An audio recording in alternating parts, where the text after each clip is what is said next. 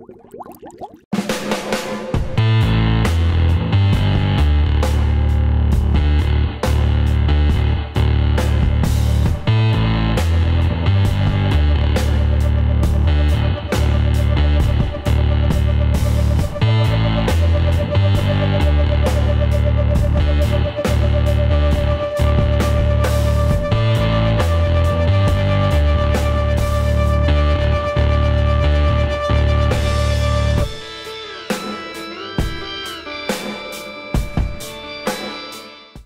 people and welcome back to another video.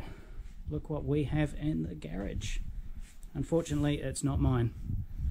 belongs to Greg. How are you, Greg? Um, what we're going to do on this job is um, we're going to do the Motogadget uh, swap.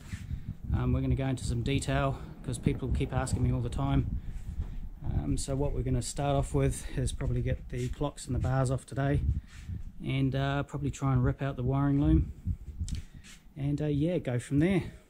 Alrighty let's rip into it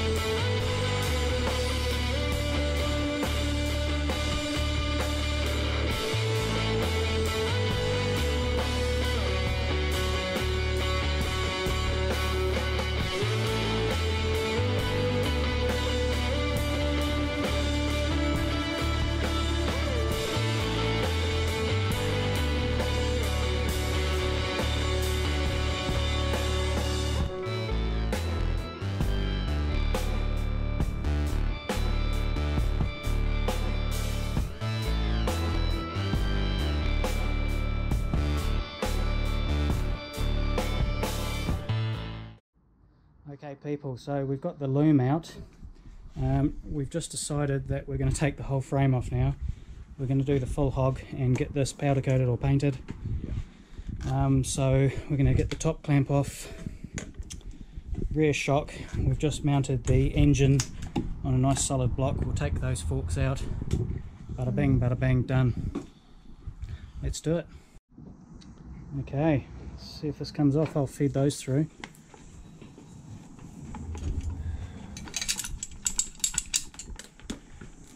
That one. Sorry.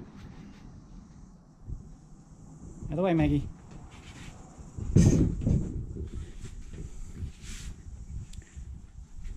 Well, this is bringing back some memories. This is.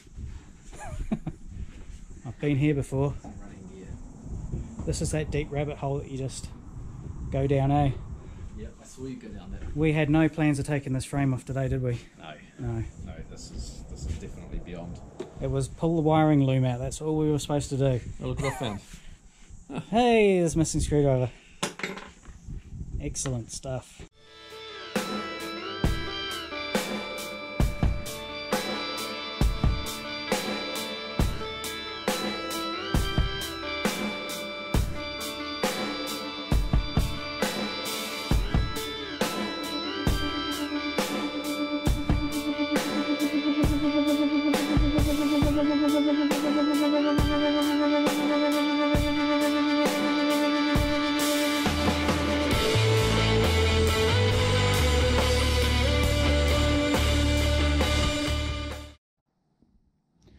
Okay, folks, well, there you have it.